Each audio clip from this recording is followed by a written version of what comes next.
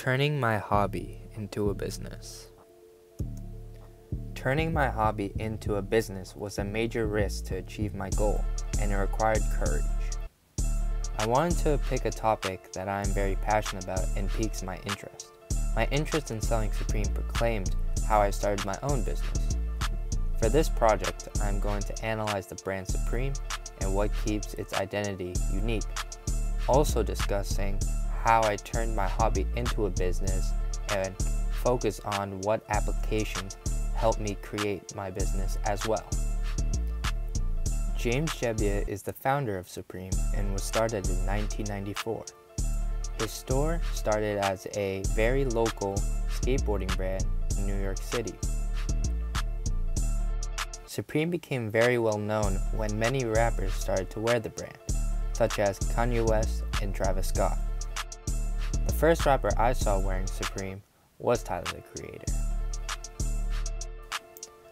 The popularity started to increase even more when Supreme made a collaboration with Louis Vuitton. Even before the collaboration, Supreme had collaborated with companies like Nike and the North Face. From many famous people wearing the brand and collaborations, this caused Supreme to become a hype brand. The word hype refers to a piece of clothing or brand being popular. Supreme products can range from anything, whether it be a hat, sweatshirt, shirt, and accessories. Supreme is very unique because the brand can put the Supreme logo on anything and it will sell out. For example, they made a Supreme brick. In White Space is Not Your Enemy by Rebecca Hagan and Kim Golombisky, the authors addressed what goes into a good graphic design, which is applied in Supreme designs. Thus, a good graphic design consists of capturing attention, controls the eye movement, conveys information, and evokes emotion. Many of their graphic designs consist of using a combination of pictures and words. For example, a design they use once every season is the Supreme box logo. This consists of taking an image and overlaying the word Supreme in bold letters. As you see to the left, Supreme did the Last Supper image for the store in Milan, Italy, and is exclusively sold only for the store opening day. Thus, each graphic design has a piece of text with an acceptable shape and size, making it easy to read their logo. The Supreme website follows the seven elements of design and the six principles of a good design. The first element that stands out is the headline that says Supreme, which has the greatest impact on their layout. It shows me as the reader that the bold text of the headline clearly points out the name of the brand. There are definitely established margins and columns displaying the shirts, sweaters, and hats. Every paragraph that describes each piece of clothing breaks up properly. Also, their website has a clear rhythm and pattern with the same font of text repeated and only changes color when selected a certain color of clothing or is highlighted in red to emphasize that free shipping on all orders are over 200. Creating a balanced design and keeping it simple allows the reader to establish a clear focal point. Overall, the seven elements of design and six principles of a good design allow Supreme to keep its identity unique. Furthermore, I'm going to discuss the process of all the applications I use for my business and how it all works. In White Space is Not Your Enemy, social media is discussed in Chapter 12 and is a major asset in my business. The process of buying Supreme is fairly easy in my opinion. As you see to the left, I use the application of Instagram and follow accounts known as Drops by Jay or Supreme Leaks News, and they post what releases for that week. Supreme releases online in small collections every Thursday at 11 o'clock Eastern Standard Time.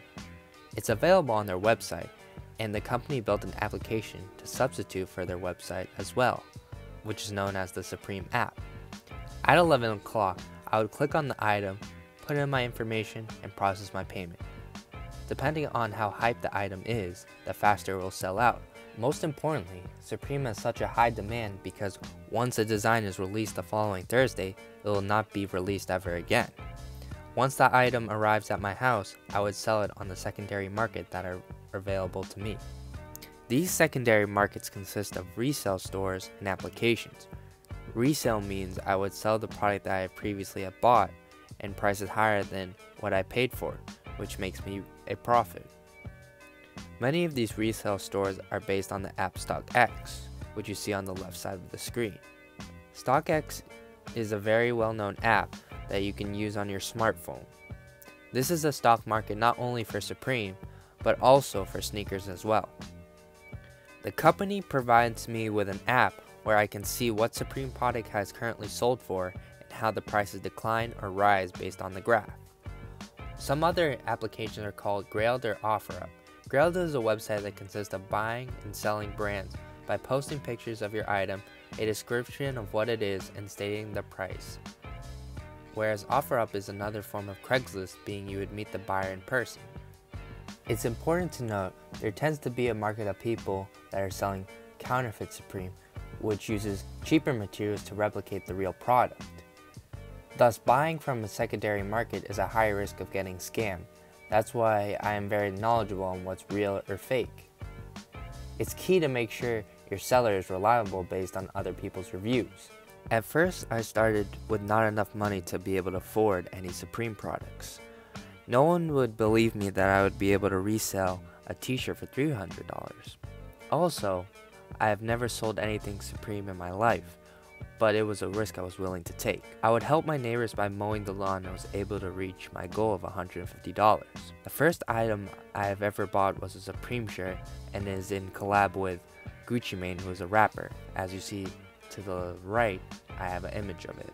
This Supreme shirt I bought from Grailed for $150. I went to New York City to resell my t-shirt at Round 2, which is one of the most well-known resale store. I had to use an interactive map widget in order to find the location of round 2. At round 2 I was offered $350 or 400 store credit. Of course I took the $350. I made a $200 profit. This was a major stepping stone for my business. I've learned many things from my project. My interest in selling Supreme had made me become a more motivated and hardworking person. Everyone has an interest or hobby, might as well turn it into a business. Selling Supreme products has shown me that there is a market for anything no matter what it is, and it took me the extra step of courage to help me overcome the fear of failure. Based on the information I discussed, Supreme has used many elements from White Space is Not Your Enemy, such as 7 elements of design and 6 principles of a good design, which makes the Supreme identity unique. Furthermore, Social media and applications have guided me to have a successful business. Also, the brand Supreme and I use the technique of taking risk in order to keep us unique as well.